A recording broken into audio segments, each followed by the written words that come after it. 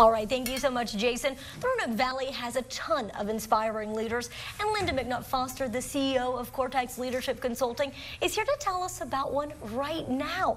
Now, Let's talk, Lynda. Last month, we were speaking with Sheila Umberger, great inspirational woman. Who have you chosen for October? For October, we have chosen someone that inspires me, right? So I saw him first on um, a morning show one time talking about having positive day. And I thought, man, this is the kind of guy I want to get to know, I want to work with, I want to collaborate with. So we um, announced last night J.D. Sutphin, who's here with us this morning, um, is our October Inspiring Leader. He inspires his team. His team members love him right? And um, his clients love him, but mostly our community has embraced him because he does everything to help, you know, nonprofits um, and all kinds of people in our community. So Thank it's you. a privilege and an honor. Thank you so much. He's a slightly talented musician, too. yeah, he's got that guitar. Blushing early in the morning. Is your, is your head going? Yeah, I'm not going to be able to fit through the door after I leave here. Lord. So JD, when Lynda spoke to you about being this one's inspiring leader, what were your thoughts? Um, it was one of those like right off the bat going, really?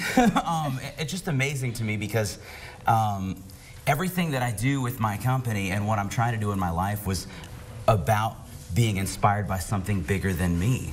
So I wanted to continue to live that. I mean, I've always heard um, friends say that uh, the best way to spread the gospel is to live it, whether you're talking about religion or whatever it is. Um, I mean, if you like country music or if you're playing country music, you should listen to country music, you know? Um, so I just, I live by that. So to see that there's been like this response, and I've even heard of other people quitting their job after, uh, after hearing this story is just truly amazing.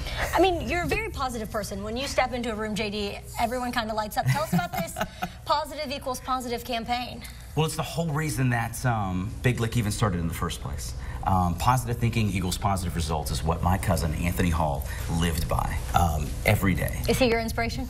He is my inspiration, and he uh, he passed away uh, several years ago, and it was after um, his passing that I was inspired to try to create something bigger and better than me in honor of him and in honor of my family who is now standing we, behind me. Yeah, surprise for you, obviously.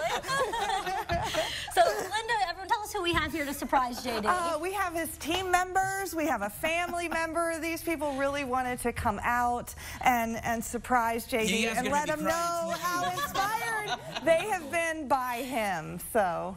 Yeah, the thing about JD is that 100% of what he does is based on family, positivity, and giving back to the community.